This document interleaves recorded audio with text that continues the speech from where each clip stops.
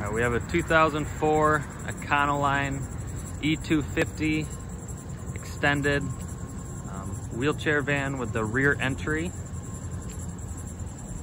We'll get a little demonstration here on how the ramp works, or the lift.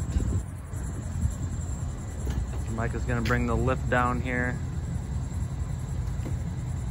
It is gravity fed, so it takes a little bit for it to come down.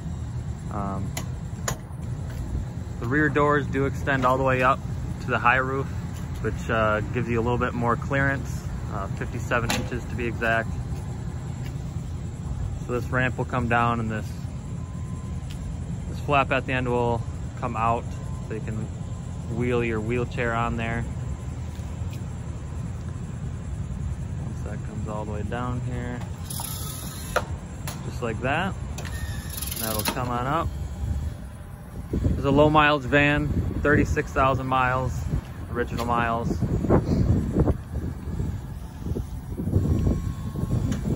It's a Braun lift. Once you get to that point, you'll push fold and it'll fold up.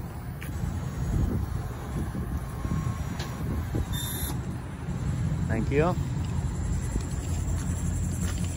Come around to the side here where we got side entry doors.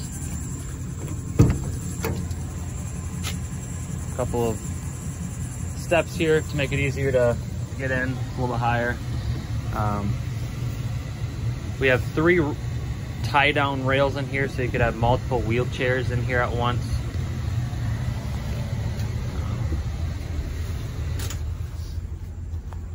Got these Q'Straint systems, which are super easy to use.